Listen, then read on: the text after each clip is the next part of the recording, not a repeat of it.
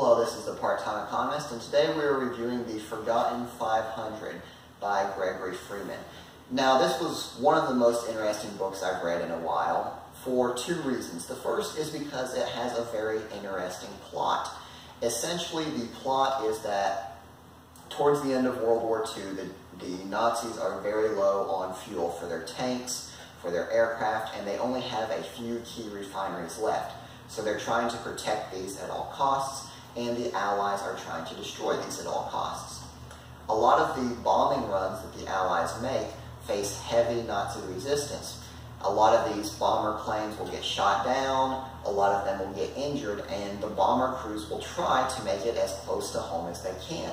Now, unfortunately, a lot of times they're not able to make the flight all the way home, so they have to jump out with their parachutes over enemy territory. Now, as you can imagine, this has to be a terrifying thought. They don't know what they're going to expect when they hit the ground. Are they going to be surrounded by Nazis and taken to a prisoner of war camp? Will they be surviving in the wild without any food or water? But it's very interesting because a lot of the airmen that were shot down in Yugoslavia were actually surrounded by Serbians and welcomed as heroes. The Serbians gave them food, water, and even protection with armed guards. And throughout the course of the book, we learned that this isn't an isolated event. At one point, the Serbians have found up to 500 American, British, and other Allied airmen, and they've moved them to a central location. They're trying to get a hold of the British and American governments, telling them that they have these 500 airmen that need rescued. Now, for a lot of reasons, the American and British governments aren't really paying attention to the messages that the Serbians are trying to send. Maybe they think it's a sabotage by the Nazis, just trying to get them to do a rescue and then ambush them. But for a lot of different reasons, they don't actually want to go rescue these people. But there's a few key players that are at the right place at the right time that are actually able to overcome a lot of resistance and bring this rescue about. Now, the plot itself is very interesting, but I also think the book is very well structured.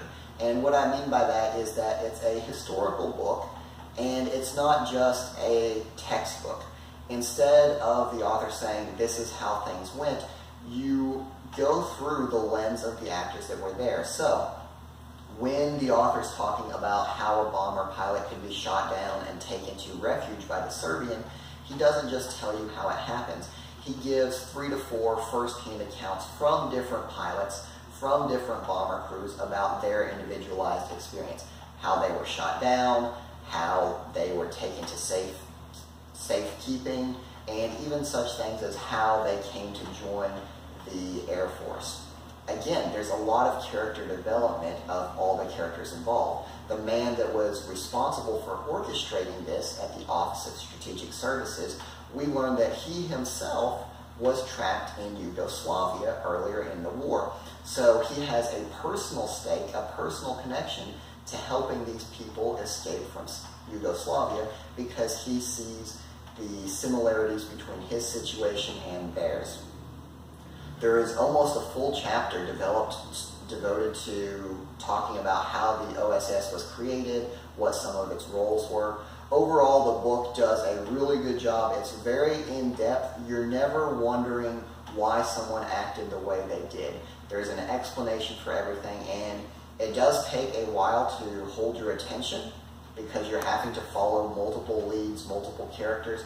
But the advantage of this style of writing is that you have multiple historical accounts, and you see things from the individual's perspective. Nothing is left out because there's so much work that goes into character development. Even such things as one of the main character's wife, a lot of stuff is written about her so we understand how she influenced the rescue mission. And just to go off topic here, it's very interesting because there was a civil war in Yugoslavia and a lot of people very high up in the American and British governments did not want this rescue mission to happen.